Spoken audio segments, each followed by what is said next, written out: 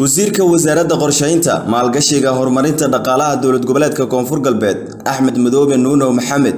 iyo agaasimaha guud ee madaxtooyada dowlad goboleedka koonfur galbeed cabdulaahi cali watiin ayaa ilaa iyo afartan hay'adood oo ka howlgala koonfur galbeed soomaaliya kulan kula yeeshay aaladda fogaan aragga. Shirka ayaa inta uu socday waxaa diiradda lagu saaray xaaladda barakacayaasha baydhabo iyo sidii ay u heli lahaayeen caafimaad iyo waxbarasho waxaana dhinaca kale uu soo hadal qaaday in kulanka warbixinno looga dhageystay hay'adaha caafimaadka koonfur galbeed ka howlgala gaar ahaana wasaaradda caafimaadka dowlad goboleedkaasi. Wasiirka wasaaradda qorsheynta maalgashiga horumarinta dhaqaalaha dowlad goboleedka koonfur galbeed axmed madoobe nuuno maxamed ayaa ku dhawaaqay in koonfur galbeed dhowaan laga daafuri doono mashruuc lagu tababarayo ku dhowaad shan kun oo dhallinyaro ah. Ka mid ahaa barakacayaasha baydhabo iyo sidii loogu heli lahaa xal waaro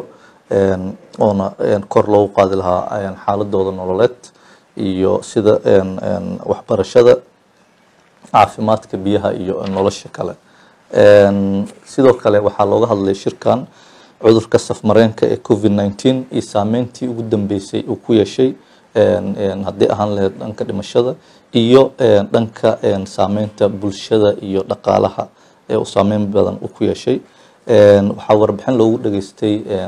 wasaaradda caafimaadka koonfur galbeed iyo hay'adihii meesha ka soo qaybgalay oo howsha ka wada arrimaha caafimaadka. Shirkan waxaa kaloo mudan in la xuso. Waxaa looga hadlay mashruuc cusub ay ooy isla fulin doonaan wasaaradda qorsheynta i o m u n d b u n habitat oo loogu magac daray saameynta oo wax loogu qaban doono tababarona lagu siin doono dhalinyarada koonfur galbeed oo ka kooban wiilal iyo gabar oo cadadooda gaaraysa ilaa iyo labaatan iyo shan kun oo dhalinyaro cumar guux warbaahinta city jowhar